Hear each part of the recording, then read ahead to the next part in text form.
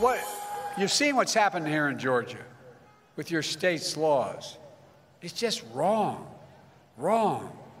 And it's why we have to pass the voting rights protection laws coming through the Congress. I've never been more optimistic about the future in America. So that was part of the message to Duluth, Georgia yesterday at a rally there. President Biden held a drive-in despite uh, supporting organizations like Major League Baseball boycotting that state.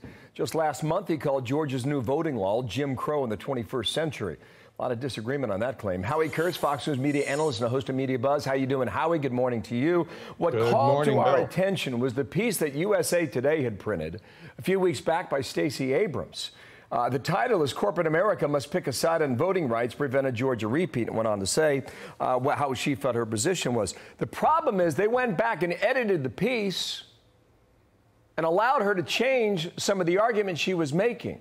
I'll go ahead and explain that. and I'll call that out in a second here.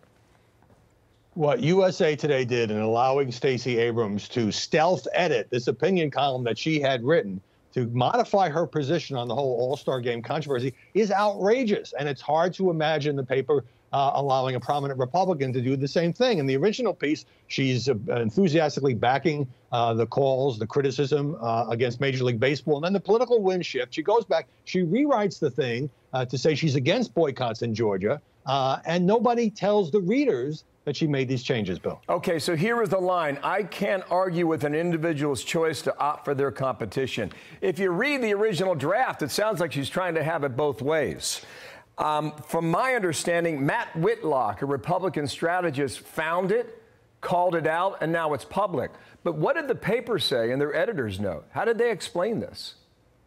Well, the uh, uh, the parent company Gannett and USA Today, of course, being one of the nation's largest newspapers, cannot defend this indefensible move.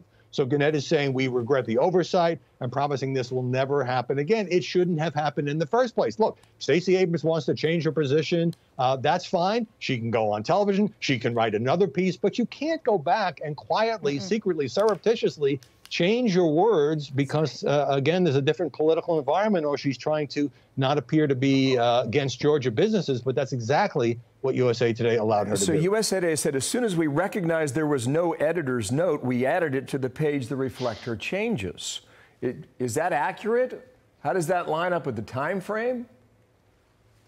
Uh, it seems to me there was some time that went by before the editor's note was added. But even so, um, you know, you write something. This is my position, and then a newspaper says, "Well, you know what? It's okay. You want it. you have other things you want to say. We'll just change it. It will look to anybody who goes online and reads this piece like this was your original stance." And they got called out. That's exactly what happened. They got called out. Uh, again, uh, politicians change their minds all the time, but this kind of uh, rewriting or whitewashing of recent history, when it was your own words, uh, really just seems like It's a uh, remarkable over the line. thing. Yeah, uh, listen, thank you, Howie, for running that down for us today. Nice to see you. Have a good Friday, okay? Thank you, Howie. You too.